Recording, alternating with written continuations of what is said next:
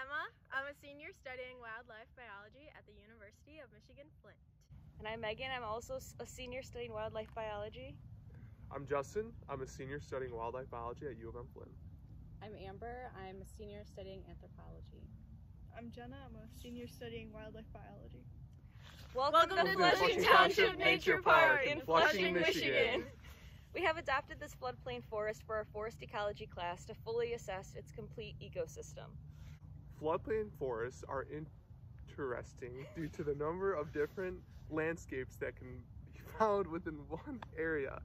Check out this figure. This figure clearly shows us the distinct difference of each landscape within the river valley, along with the tree species that are commonly found in each section.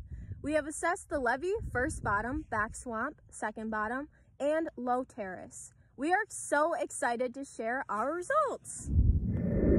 Is typically a feature located adjacent to the river where the coarsest sediment is deposited by the fastest moving floodwaters. In comparison to other parts of the floodplain, levees have soil of coarser texture and greater depth to water table, which result in better soil drainage and soil aeration. The dominant overstory species include Carya cordiformis, the bitternut hickory, and our understory dominant species were all Ulmus species. Hi, welcome to the first bottom.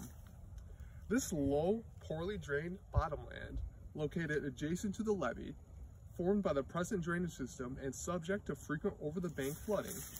Soil texture is typically finer than the levee. The first bottom is typically composed of low levees and adjacent shaded depression in the land, creating a landscape feature where small differences in elevation can lead to large differences in the frequency and duration of flooding, floodwater depth, and the distribution of vegetation. There is no overstory, so there's no dominant overstory vegetation. The understory is composed mainly of Rhus glabra, the soil texture of both O and A are silty clay, and we have a neutral pH of 7. I'd like you to notice the abundant and frolicking wildlife. Rare sight. Thanks for joining. This is an MTV Cribs special presentation. Welcome to my crib at the back swamp. The back swamp is more poorly drained at lower elevation and composed of finer textured soil than the first bottom Soil usually remains saturated due to the lower elevation, higher water table, and more moderate water level fluctuations. the dominant overstory species are Acer rubrum and Acer saccharum. Acer saccharum enjoys growing in mesic deciduous forests with moist, well moderately well-drained, fertile soils from sand to clay textures, highly shade tolerant tree. Dominant understory species are snags. There's not much understory that can grow the O texture was clay loam, the A texture was clay, and the pH was 7. Alright, um, so we're in the second bottom. This is adjacent to the first bottom and at a slightly higher elevation. It's flooded less frequently and for a shorter time than the first bottom, and it may contain any of the topographic features of the first bottom. The dominant overstory species is Celtis occidentalis, Acer sacrum, and Acer nigrum. The dominant understory species is the same as the overstory. For the soil, the O-layer texture was clay loam, the A-layer texture is clay loam, and the pH of the A-layer is 6. At the lower terrace. Terraces are abandoned floodplain surfaces that were formed by historical drainage systems and are not subject to cycles of erosion. The dominant overstory species of this lower terrace is Populus grandidentata and Populus deltoides. The dominant understory species are Acer nigrum and Carya cordiformis.